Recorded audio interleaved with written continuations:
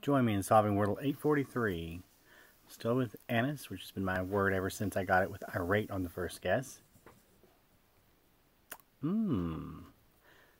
It's a lot of letters to go on today. We know the second letter is an N. Rearrange the others. It could start with I. I-N... I-N... S-A... I-N-A... Not, it can't be A-S. A something... M...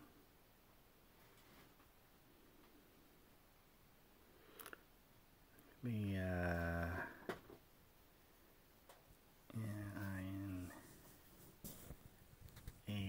I no, I could be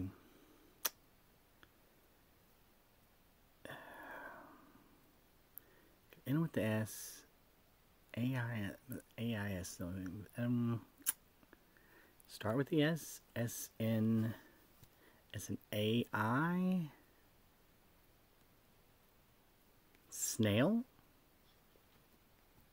Nice. Got one and two again. Love that. That's the best. So that makes 22.